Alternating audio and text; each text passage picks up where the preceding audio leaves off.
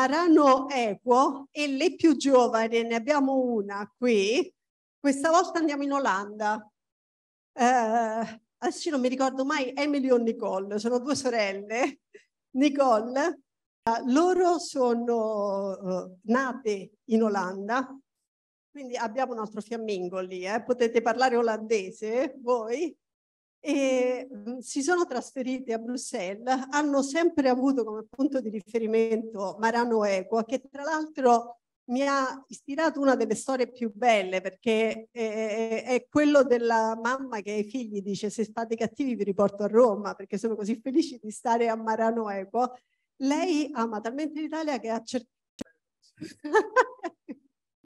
che ha cercato di tornare a via, ha fatto un tirocinio con l'ospedale Bambin Gesù, quindi la sorella è restata in Belgio a Ghent, lei a Roma e lavoreranno insieme nella comunicazione. Quindi ti do la parola. Eh, buongiorno a tutti, grazie per eh, questa bellissima opportunità. Eh, Marano Eco è sempre stato un mio punto di riferimento, sono una che viaggia molto, sta sempre in giro, ma Marano Eco è sempre stata una mia certezza e sarà perché eh, innanzitutto per la famiglia, eh, che ho lì per la loro energia, la, la gioia di, di, di, voler stare insieme, eh, magari davanti a un buon cibo.